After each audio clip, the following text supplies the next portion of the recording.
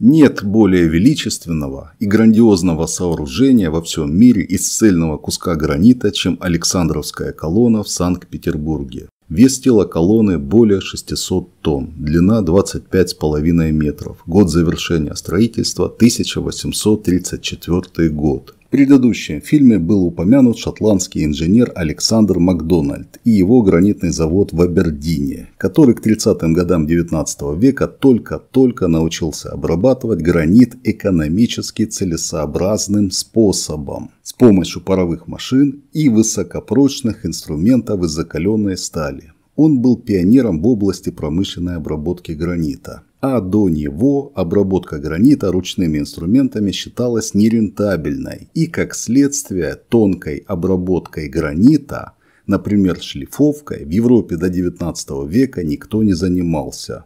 Гранит использовался только в качестве грубых блоков для фундаментов, мостов, акведуков и брусчатки, блоки для которой получали путем раскалывания крупных блоков на блоки меньших размеров.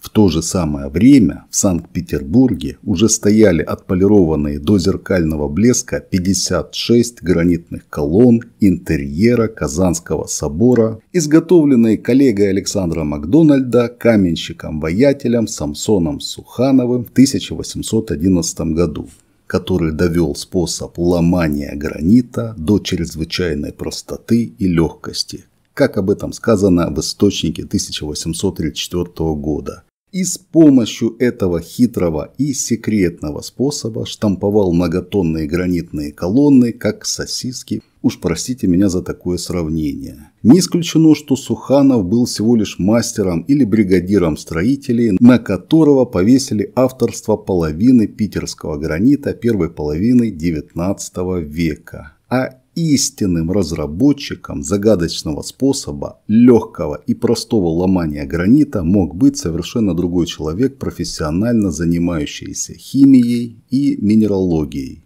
Одним из таких посвященных в тайну питерского гранита мог быть академик Российской академии наук Герман Иванович Гесс. В брошюре об употреблении гранита в Санкт-Петербурге она, кстати, вышла в год завершения строительства Александровской колонны, было высказано мнение академика Гесса о свойствах красного финляндского гранита, из которого она, колонна, и изготовлена. Цитирую.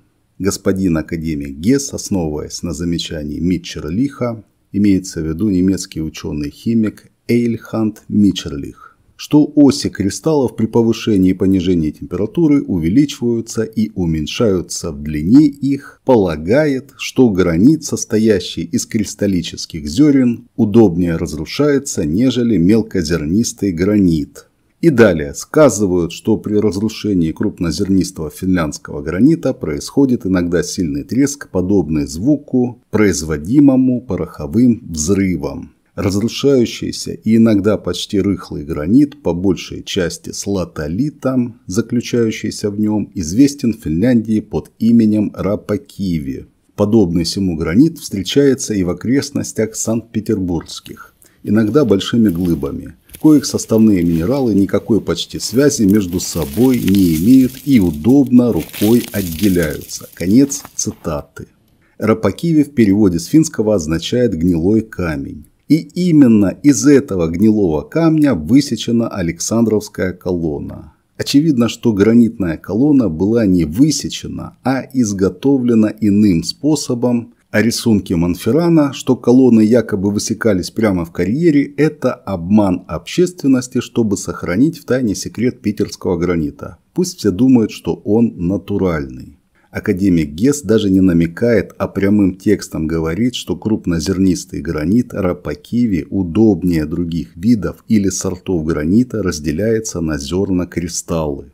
Вот вам и разгадка питерского гранита второй половины XVIII века и практически всего XIX века. Его использовали не в натуральном виде, как его создала сама природа, да и инструментов тогда еще для тонкой обработки его не было а как сырье для получения зерен кристаллов, из которых в дальнейшем изготавливался искусственный гранит. А легкий и простой способ ломания гранита, видимо, состоял в том, что сперва гранит нагревали, о чем говорит академик Гес, а потом просто охлаждали, например, обливали холодной водой или выставляли на холодный морозный воздух, от чего он взрывался сильным треском, подобно пороховому взрыву. Кстати, гранит в русском языке слово иностранное.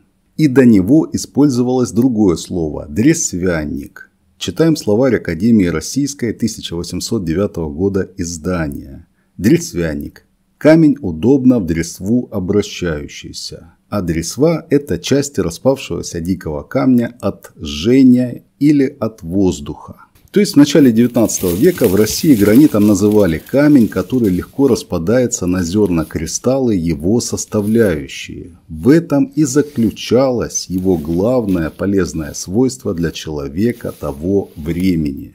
А сейчас самое время поговорить о старшей сестре Александровской колонны. На этом рисунке изображены пять самых высоких триумфальных колонн в мире по состоянию на 1836 год. Две из них выполнены из гранита. Александровская колонна, общая высота почти 34 метра, и колонна Помпея в Александрии Египетской 27 метров, что тоже немало. Вот как об этой колонне высказался Томас Селман, достаточно известный в свое время английский писатель, историк и географ. Издававшийся на разных европейских языках, это его нидерландское издание – Тело колонны представляет из себя цельный кусок гранита или мрамора или смеси, которая по прочности и красоте не уступает мрамору.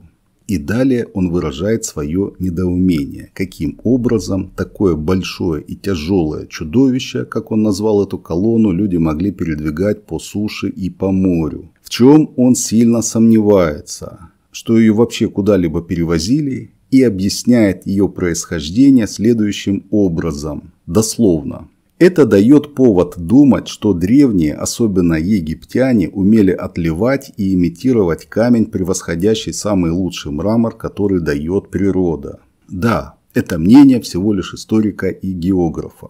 Но оно имело под собой основания.